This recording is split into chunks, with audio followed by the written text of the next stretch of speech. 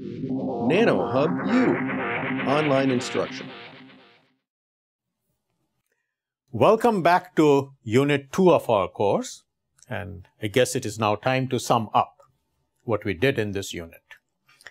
So in the last unit, that's Unit 1, we talked about the Schrodinger equation, this E psi equals H psi, where H is this matrix whose eigenvalues give you the energy levels. The energy levels that define this electronic highway, the highway along which electrons flow from source to drain. And our purpose in, in this unit was to add the this flow process, the contacts. That's why we call this contacting Schrodinger. The process that involves this outflow of electrons and inflow of electrons from the contacts. And what we talked about was how you can modify the Schrodinger equation and add these additional terms in the sigma 1, sigma 2, and the S1 and the S2, and the, so that they correspond to this inflow and outflow. Now, one important point that I tried to make at the outset is that at the Schrodinger equation level, it is not quite right to add multiple sources because if you do that, you'll get interference between them, which is unphysical because in general, electrons are like thermal sources. That is, with light, as you know, there are thermal sources where the power adds up, but there's also coherent sources like lasers where the electric field adds up. But when it comes to electrons, it's all normal electrons, it's all thermal. So it's the psi star psi that needs to be added, not the psi. And so what we need is equations that relate the psi psi dagger directly to the SS dagger rather than Schrodinger equation which relates psi to S. And once you have equations like this, then multiple sources can be added up. And based on these new quantities that we introduce, this Gn, which is like the number matrix, sigma n, which describes these source terms, we obtained a flow diagram.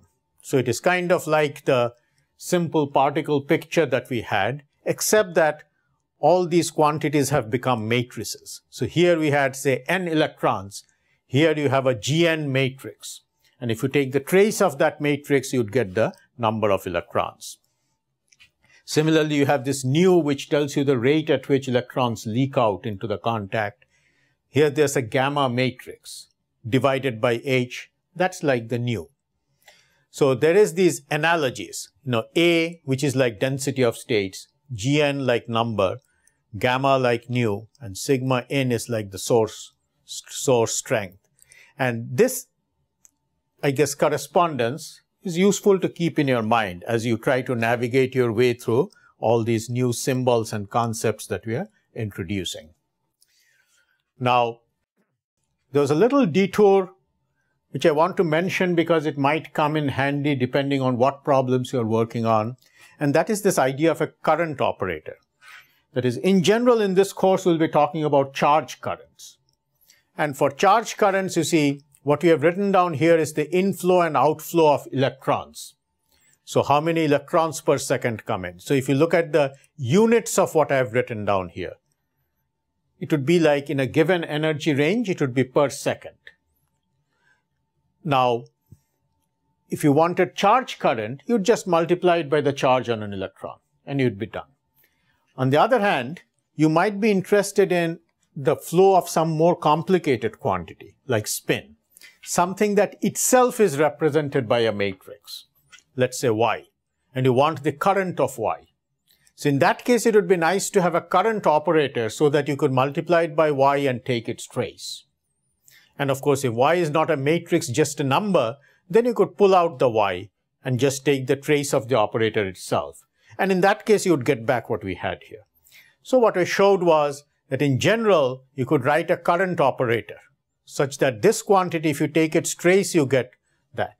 But then if you wanted the flow of some other quantity, some more complex quantity y, then you might want to work directly with these. But much of this course, though, will be talking of charge currents. And there, what we have is this basic set of equations that you could apply to any problem of interest. This is what we developed in the first half of this unit. And in order to apply these equations, what you need is a sigma and a sigma in. And the anti-Hermitian part of sigma is the gamma. And if the contact involved is in equilibrium and described by a Fermi function, then there is a basic relationship between the in scattering and the, this outflow term, the gamma. In other words, sigma in must be equal to gamma times f. And this is a fundamental requirement based on equilibrium statistical mechanics. And so, what that means is, for every contact, what you really need to know is sigma. If you have sigma, you have the gamma because it's the anti-Hermitian part. And if you have the gamma, you multiply it by f and you have the sigma n. So there's only one thing you need to find out, which is the sigmas. Now, but this argument though, that sigma equals gamma times f, only applies if the contact itself is in equilibrium. But if you look at this dephasing contact, you know, which as I mentioned is extremely important because usually electrons suffer these dephasing processes as it goes through the device, which often destroys a lot of interference effects. And if you want to model that, model the effect of this random potential that the electrons face when going through a device, then you need this dephasing contact, the sigma 0 and sigma 0 n. And those are not described by any Fermi function ordinarily. Although there are models people use where you assume that it's also described by a Fermi function. But we will not be doing that. And what I prefer is one where we don't make that assumption. But what you have to be sure then is that you choose these in such a way that there is no net current at that contact. And that means the inflow should be equal to the outflow. Because at a physical contact, you could have 100 per second come in and 90 per second leave. And there would be a net flow of 10 per second. At the dephasing contact, if there's 100 per second coming in, 100 must leave. Otherwise, we wouldn't have steady state. You'd be losing electrons. Now, in terms of how you obtain the sigma, we went through a 1D example. We took a case of a 1D wire and assume this incident wave, a reflected wave, and a transmitted wave. And we showed how using simple arguments and applying these boundary conditions. Boundary condition meaning that at this contact, you assume there's only an outgoing wave. So by applying these boundary conditions, you can figure out what the appropriate sigma is. And so this is the example that we went through. And once you have obtained the sigma, of course, you can get the sigma in using the relation that we talked about. And this is a sigma that you can use for any 1D problem. The result is a very simple one that you see if you had a 1D wire, diagonal elements are epsilon, the nearest neighbor coupling is T, well then the sigma basically looks like zeros everywhere except for T e to the power i k a at the point where it is connected. So if it is sigma 2, the t to the power i k a appears at this end. If it is sigma 1, then the t to the power i k a appears at that end. Now the other example we went through is one that involved the dephasing contact. And th this is where we took this example of a wire with a barrier, which, you know, our simple view would be there's an interface resistance and then there's a resistance due to the barrier.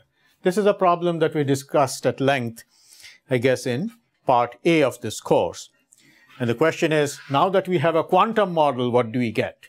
And if you use a coherent theory, then you, do, you get all these oscillations, which indicate quantum interference effects.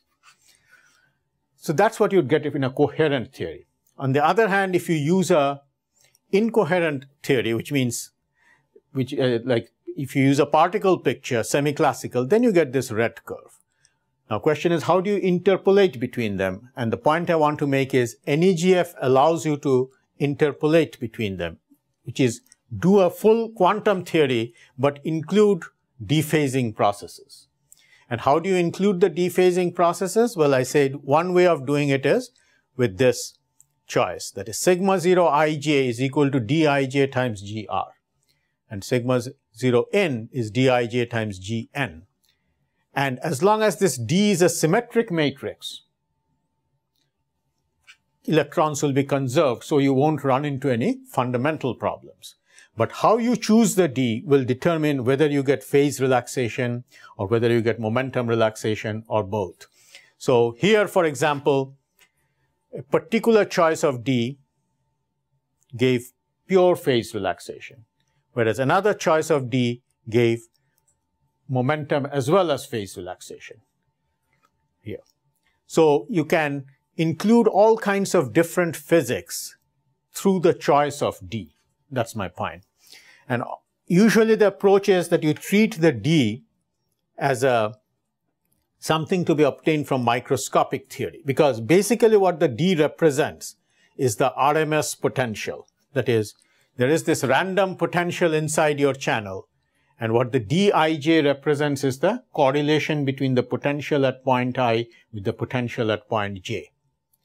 And ordinarily you might start from a microscopic theory of the scattering mechanism, like phonons, and try to figure out what that correlation is.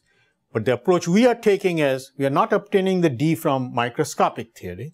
Instead, we are saying, let us use a D that gives us a consistent model in the sense you don't lose electrons. But then we choose the D so it gives us the correct relaxation pr processes. That is, in a given system, you usually know what kind of momentum relaxation time there is. You know that from mobility.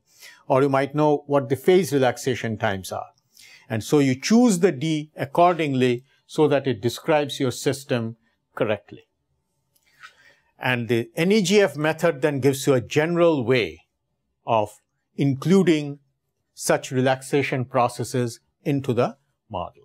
And this is where it's different from a pure coherent theory where you would necessarily have things like this, including, I guess, which would show interference effects. So that kind of brings us to this end of this unit. You see, what we have done in the first half of this unit is set up these basic equations, the basic NEGF equations that you could use to analyze any device, including quantum effects. And to apply it to a particular problem, what you need is this sigma. And how do you obtain the sigma? Well, in the second half of this unit, we, show, we saw a few simple 1D examples. In the next unit, what we'll look at is more advanced examples. That is, we'll look at two-dimensional devices, we'll look at graphene, we'll look at devices with, I guess, magnetic fields, and in the last unit of this course, we'll look at devices involving spin transport. Thank you.